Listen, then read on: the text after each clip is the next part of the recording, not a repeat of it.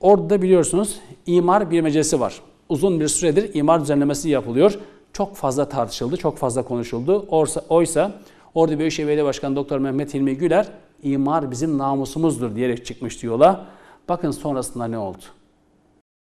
İmar konusu bizim namusumuz. Aralık 2020'den beri Ordu'da imar bilmecesi sürüyor. Birinci İdare Mahkemesi kentte yüksek katlı binaların önünü açan 2016 yılında hazırlanan 1 bölü 5 bin ölçekli Nazım imar planını iptal etmiş, kararla kentte yüksek katlı binaların yapımının önüne geçilmişti. Ordu Büyükşehir Belediyesi tarafından yeni imar planı hazırlandı ama askıya çıkan imar planı kamuoyundan büyük tepki aldı. E, imarda 1543 tane hı hı. itiraz oldu yeni imar evet. yeni imar düzenlemesine. E, ve bu 1543 tanesinin 520 tanesi kabul edildi biliyor musun? 520 itiraz kabul edildi. Yani neredeyse planın yarısı, e, yaptığınız şeylerin yarısını hatalı yapmışsınız. Özellikle Durugöl ve Akyazı iptal edilen imar planıyla buralar betonlaşmadan kurtarıldı. Ancak askıya çıkan yeni imar planı Durugöl'ü kuruttu, Akyazı'yı da adeta betona teslim etti. Yeni imar planıyla Durugöl'de yeşil alan kalmadı, Akyazı'ya eskisinden daha fazla yapılaşma izni verildi. Şehrin arka mahalleleri içinse yeni planda ciddi rant iddiaları gündeme geldi. Milletimize söz veriyoruz. Biz bu zihniyetin karşısında halkımızın yanında olacağız. Orduyu kimseye parsel parsel sattırmayacağız.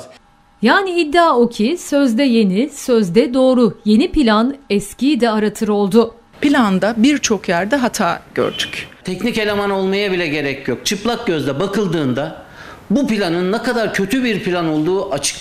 Sayın Mehmet İlmi Güler, e, bütün meclis toplantılarında biz geçmişte yapılan yanlışları düzeltiyoruz, bir yanlıştan dönüyoruz diyerek e, bu imarla ilgili düzenlemelere gitti.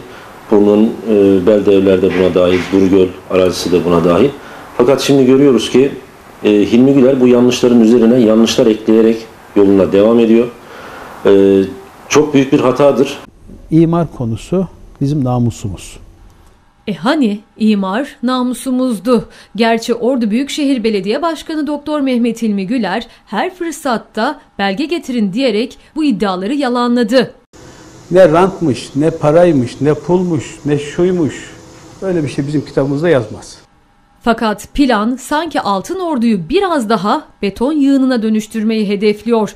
Öyle ki yeni planda yeşil alanlar özel proje adı altında veya iskan alanı olarak imara açılırken üzerinde bina olan yerler yeşil alan yapılmış. Otopark alanları ticari alanlara dönüştürülmüş. Mevcut yoğunluklar daha da artırılarak kent içerisinde nefes alınacak yer bırakılmamış. Yani bu şehrin sokaklarında koşmayan, bu şehrin sokaklarında o çocuk parklarında oynamayan, bu şehirdeki o mezarlık alanında hiçbir yakınının mezarı olmayan insanlar imar planı yaparlarsa sonuç bu oluyor işte.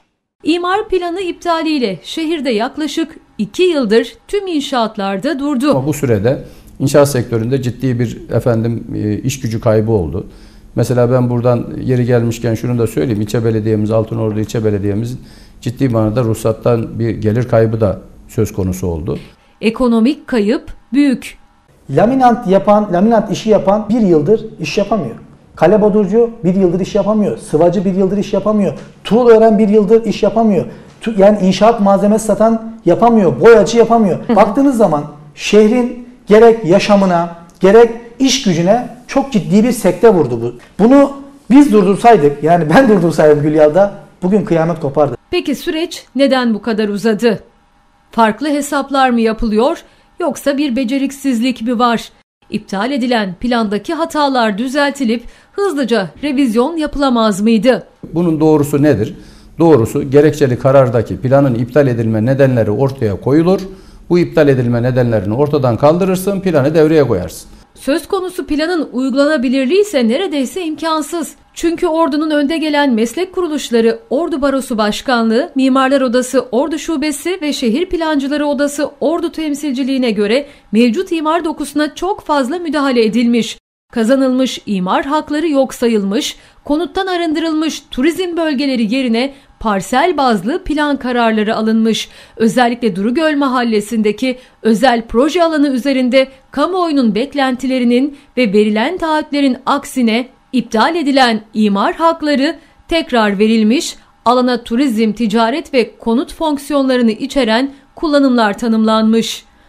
Ortak bildiriyle itirazını dile getiren bu kurumlar şimdi yargıya başvuracak. Biliyorsunuz e, kamuoyunda Durugöl e, imarı olarak bilinen yeni stadyumun yan tarafındaki arazinin e, imara kapatılması söz konusu olmuştu. Belediye meclis kararıyla imar hakları durdurulmuştu. E, tabii kamuoyundan da büyük destek görmüştü ki nitekim 110 bin imza gibi bir e, vatandaş talebiyle bu karar alınmıştı Büyükşehir Belediye'mizce ve takdir edilmişti. E, Biz bu kararın aksine yeni planda Durugöl e, mahallesindeki bu alanın e, aynı haklarla yani ticaret, konut ve turizm e, yapılaşma koşullarıyla tekrar imara açıldığını gördük.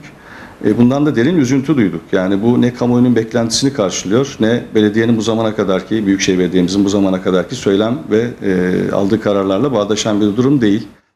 Akıllarda tek soru. Yargıya taşınan itirazlar sonrası bir iptal daha çıkarsa ne olacak? Şehir kaybederken kim kazanacak? Bu faturayı kim ödeyecek? İmar konusu bizim namusumuz.